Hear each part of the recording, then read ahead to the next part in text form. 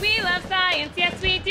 We love science, yes we do. We love science, science you. We love science, science you. When I say science, you say you. Science, You. science. You. Tag, you're it.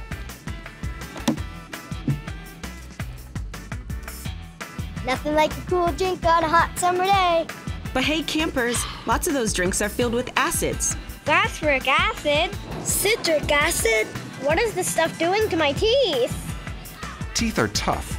They're covered with enamel, a mineral form of calcium. But will the acid weaken my teeth? So we put it to a test. To measure the amount of acid in drinks, we use pH test strips. The lower the number, the stronger the acid. The water was neutral, but the orange juice had acid. The cola is very acidic. The sports drinks had acid too. What would happen if we soaked teeth in these different drinks? Okay, we got these teeth just for this test. These are shark teeth. Shark teeth. We poured each drink in its own cup and dropped one tooth per cup. Then let them soak for five days. These are the cups from last time with the teeth in them inside, okay? Does that look pretty gross or what? One of the tests that we do afterward is to see if we can scratch enamel off the tooth. Okay, so the enamel was pretty tough in the tooth that was just soaking in water.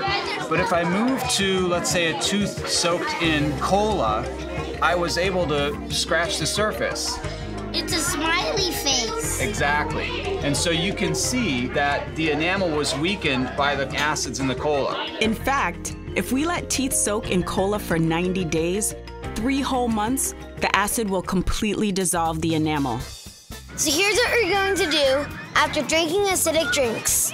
If you can, rinse your mouth with water. Wait an hour. And brush